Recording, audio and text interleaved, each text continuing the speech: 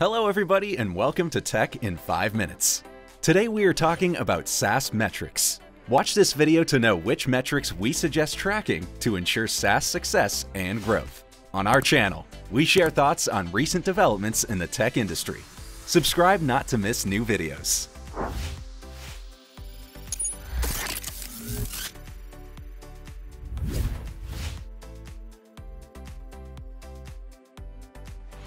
We at Jelvix work with software as a service companies a lot.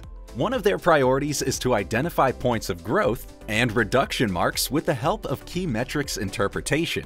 And we are excited to explain which metrics are most useful. Actually, SaaS metrics can be split according to their purpose. Let's look at every group. The first group is growth metrics.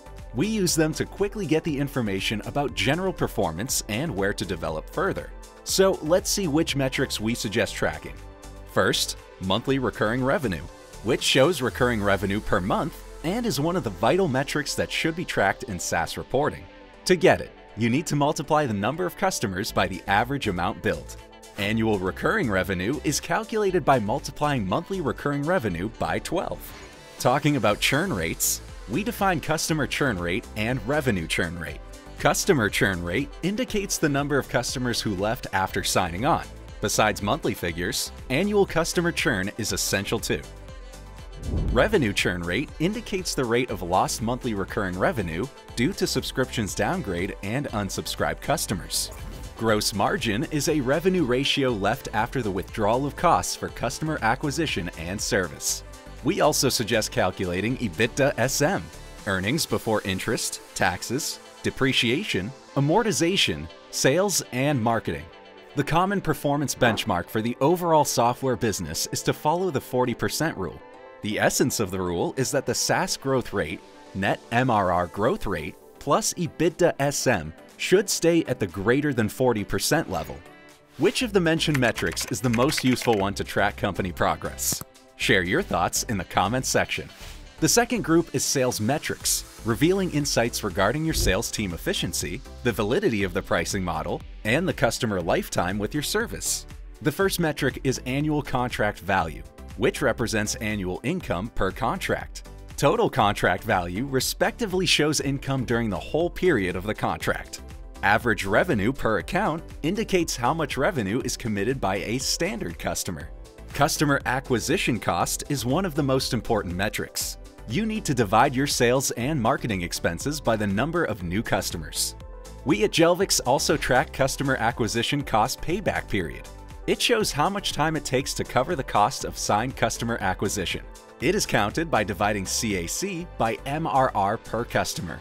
Customer lifetime value represents the total revenue brought by the customers during the whole subscription period. Well, to understand if the business will gain money in the distant future, we need to keep the customer lifetime value to customer acquisition cost ratio on a level of more than 3. And a simple way to check sales efficiency is to count the rate of one contracts. This is calculated as a share of won deals out of total deals. Here we'd also suggest reading our list of the best SaaS business ideas to get more inspiration on the topic. The third group of metrics is customer success metrics, and it includes Daily active users and monthly active users mean the number of unique users who interacted with your product during a day or a month, respectively. Net Promoter Score asks a single question about the possibility of recommending a service or brand to a friend or a colleague.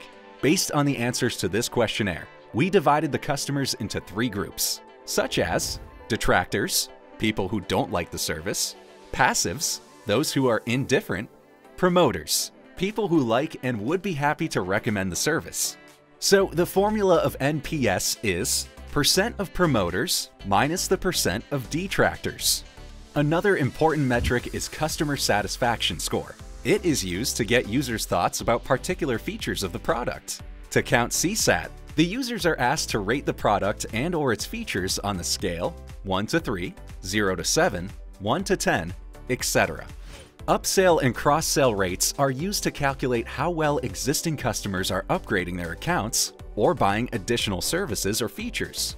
Referral revenue is a total income by successful customer referrals over the period. To gain insights from this figure, it should be compared to the number of investments to the referral program. SaaS valuation metrics serve one goal, to help you make optimal decisions to drive your business. It can be a compass pointing in the right direction of causes, growth opportunities, and ultimate solutions. This video was prepared by the Jelvix team. We provide software development, UI UX design, and testing services to top brands worldwide. Find our contact details in the description box.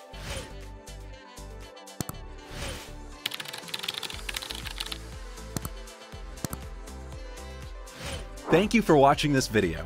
We share our experience of working with startups and enterprises. So make sure to subscribe not to miss a single video. And don't forget to like this video and hit the bell button. Bye for now.